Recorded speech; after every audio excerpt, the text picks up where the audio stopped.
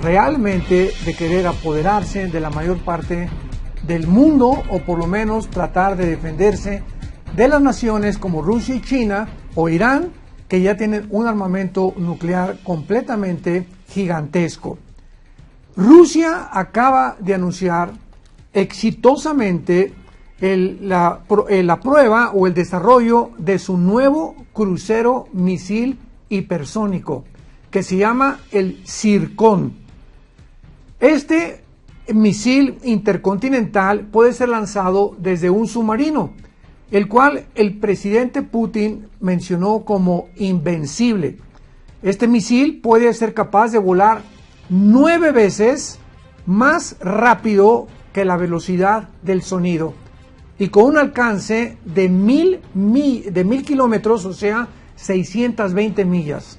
No cabe duda que Rusia actualmente ha alcanzado el poder nuclear o ya sobrepasó al de los Estados Unidos de Norteamérica. Y la mayoría de los expertos nucleares creen que estos submarinos, desde donde son lanzados estos misiles hipersónicos, no tienen comparación en el mundo ni con ninguno que haya fabricado Japón o Estados Unidos o Inglaterra o cualquier otra nación.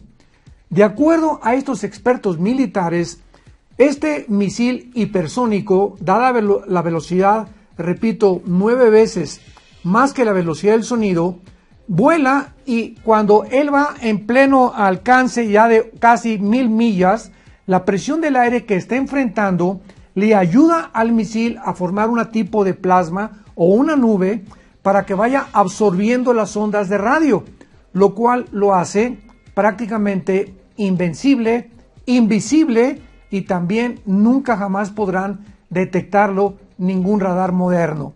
Cualquiera de estos misiles puede hundir en 30 segundos el más grande portaaviones actualmente de los Estados Unidos de Norteamérica, como el USS Gerald Ford.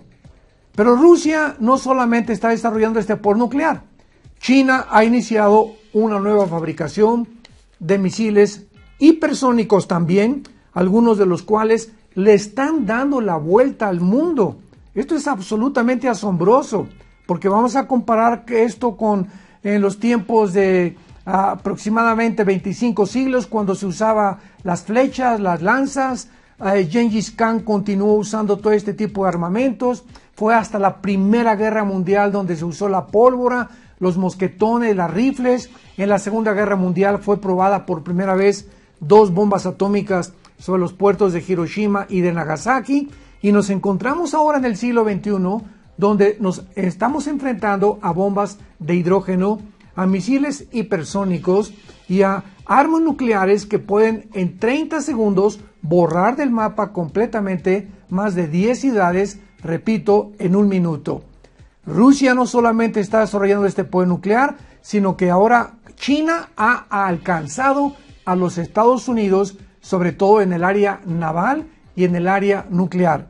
Al haber podido dar la vuelta al mundo, estos misiles chinos se comprueba que tienen el potencial de 40 mil kilómetros, o sea, 25 mil millas de alcance y pueden ser dirigidos a cualquier parte del mundo. Estas pruebas demuestran simplemente el progreso que la China ha realizado en los últimos siete meses Estamos hablando que nos encontramos en el mes de noviembre del 2021 y que a principios de enero de este año China avanzó de una forma eh, hipersónica, podríamos también llamarle, la forma en el desarrollo que quiere realmente estar al mismo nivel de Rusia, de los Estados Unidos y de Irán.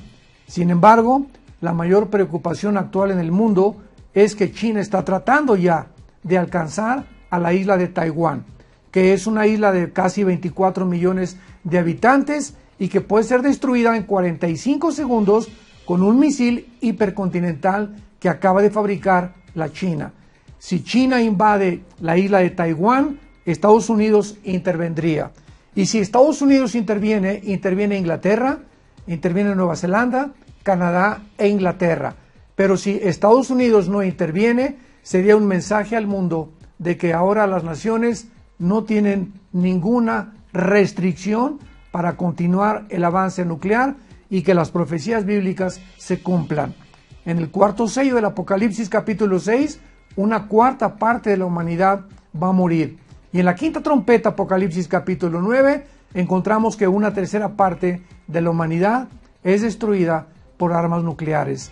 Nos encontramos en un mundo bastante peligroso, muy amenazador, donde haríamos bien de buscar a Jesucristo con todo nuestro corazón y darnos cuenta que en cualquier momento esta tercera guerra mundial puede explotar. Que por favor Dios nos encuentre realmente haciendo su obra, desarrollando y proclamando el Evangelio de la gracia de Jesucristo antes de que este mundo pase a existir a otro mucho mejor, donde aquellos que seguimos a Jesús tenemos esta esperanza.